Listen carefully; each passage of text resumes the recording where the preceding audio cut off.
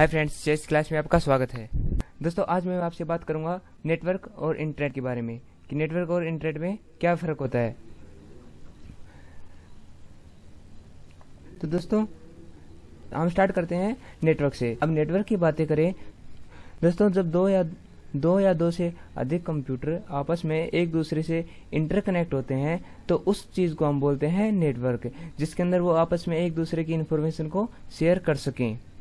अब सभी कंप्यूटर के बीच में जो कनेक्शन होता है, वो कनेक्शन वायर्ड भी हो सकता है और वायरलेस भी हो सकता है। और ज़्यादातर की बात आती है इंटरनेट की। इंटरनेट के अंदर बहुत सारे नेटवर्क एक दूसरे से इंटरकनेक्ट होते हैं। वो पूरे नेटवर्क वर्ल्ड वाइड कनेक्ट होते हैं, जिनको हम इंटरनेट बोलते हैं।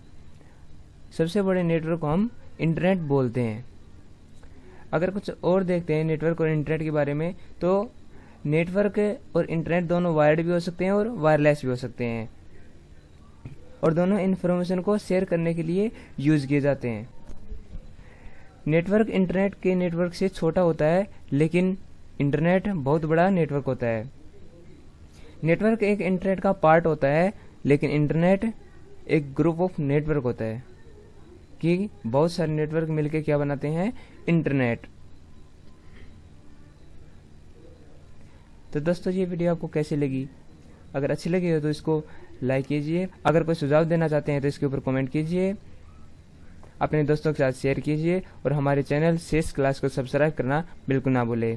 Thank you. Have a nice day.